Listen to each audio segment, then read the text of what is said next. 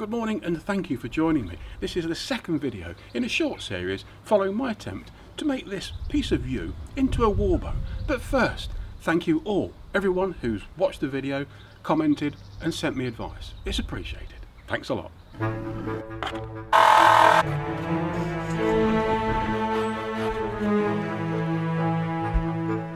Just a quick review before we go ahead.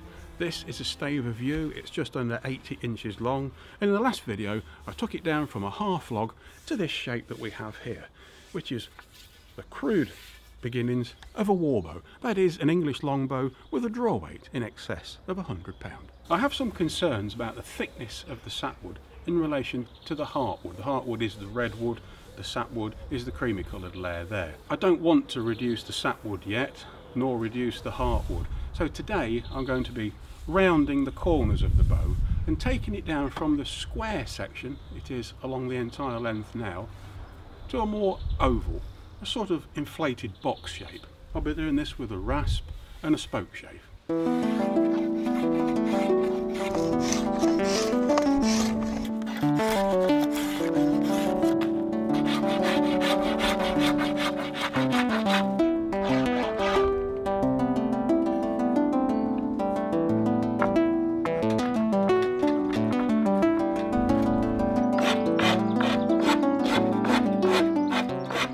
Yesterday I spent time with a rasp and a spoke shave starting to shape this bow to create a D-shaped or flat D-shaped belly and tapering the sides a little more. And during that time it became more and more obvious even to my inexperienced eyes that I've got to reduce the layer of sapwood on the back. And many people messaged me, thank you very much, and said the same. So I took a piece of the offcut from this stave and had some practice with a cabinet scraper, a spoke shave and some sandpaper to try and get a smooth effect and to see what happened when you cut through growth rings and how to feather them, make them run diagonally across the bow where necessary. On the basis of that I started work on the entire bow, gingerly to start with at the tips with a spoke shave, then as I gained in confidence I used a draw knife to work the entire length of the bow.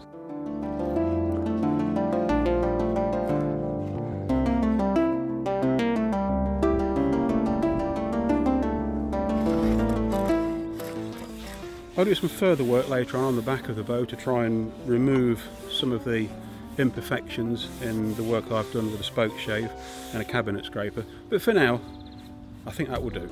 So the stave now has a, a much better proportion of uh, sapwood to heartwood so today I'm going to start taking the belly down a little bit just evening out the taper, checking the dimensions all the way along the bow, tip to centre, centre out to tip again with the aim of trying to get this bow on the tiller.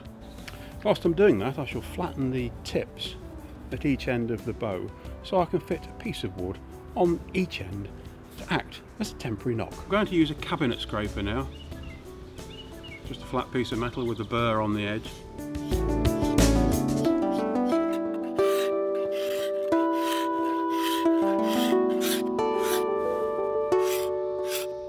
Now that I'm working on the uh, belly of the bow, I can start looking out for imperfections like this. These are knots in the wood.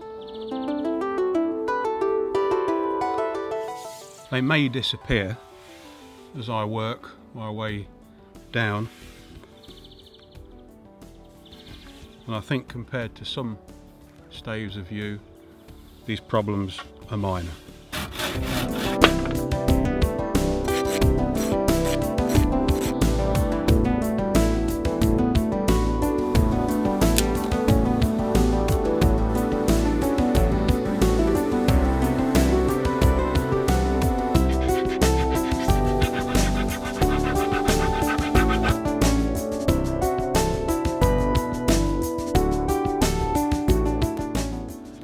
Just about ready now to start bending this bow on the tiller, but just before I do that, have you noticed this dark stain on the belly of the bow? That conceals some very fine longitudinal hairline cracks. Now apparently the solution for this is to flood them with super glue. I've been given that advice by Ian Sturgis of Boston Bows. Thank you Ian. I did that yesterday, they're all filled now. I hope it saves the bow from any danger of exploding on the tiller. I've put a link to Ian's YouTube channel in the description below. There you can see a professional making a bow like this. Anyway, to the tiller.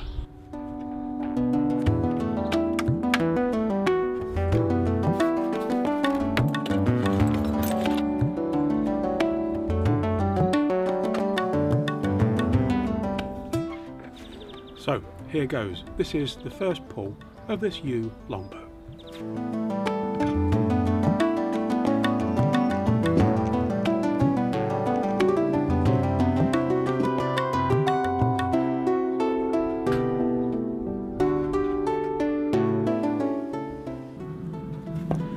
That's about 80 to 90 pounds on the long string and it hasn't broken. Okay, I don't want to leave the bow pulled for too long on the tiller, but I think I saw a weak point here on what I think might be the bottom limb, that's just below the handle, and here on the top limb, this section didn't seem to move at all. So I'm going to take a little bit of wood off the belly and see what difference that makes. I've marked the belly where I want to leave it alone, where there appears to be a little bit of a hinge, to my eye at least, and I'll reduce this little bit across the handle and up towards the top limb um, and put it back on the tiller.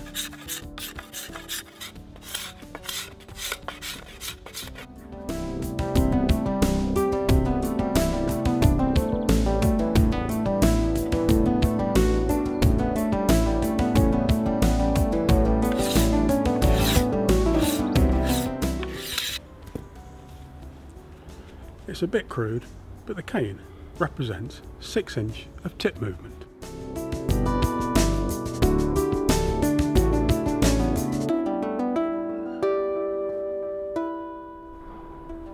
So that last pull suggests that this limb, perhaps it's going to be the bottom limb, is flexing about 5 inches, whereas the top limb is flexing about 6.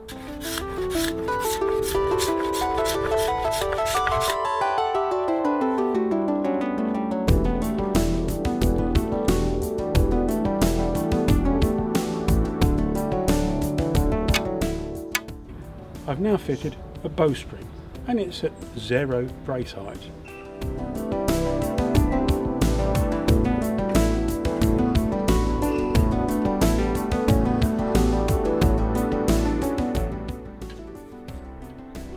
I've drawn the bow on a long string to about 120 pounds now. Quite easy to underestimate the amount of force required to bend a war bow. A few seconds ago, this was a hundred pound carabiner. Right, just a bit of a lunchtime update now. I've got a kind of zero braced warbow now. That is, it's got a correct string on it. It sits flat to the belly. I've taken a bit more wood off the belly, a bit more wood off the back. But can I brace it? No, I can't. It's way too heavy. On this zero brace string, I've drawn it back 24 inches and it took 120 pound pull to do that. And I still have no idea what the draw weight of this bow would be when it's correctly braced.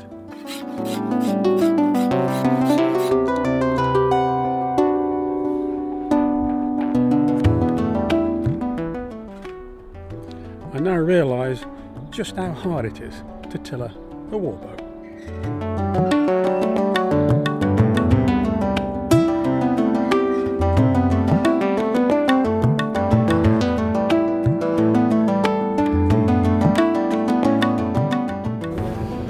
That's the end of this second video following my efforts to make a warbow. Over the last few days you've seen me working on the belly and on the back, worrying my way up and down this piece of wood. But today I finally got it onto the tiller.